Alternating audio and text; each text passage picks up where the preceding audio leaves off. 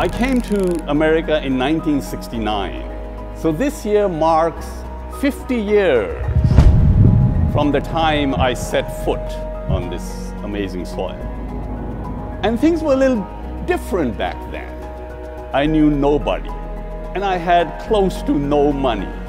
So today I look back and I see all the incredible friends that I have all across the world.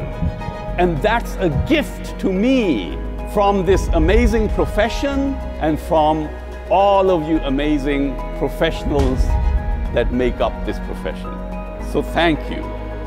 And that's why wherever I go, to parties that we do, they're fundamentally to celebrate the profession, but more importantly, to celebrate each and every one of you.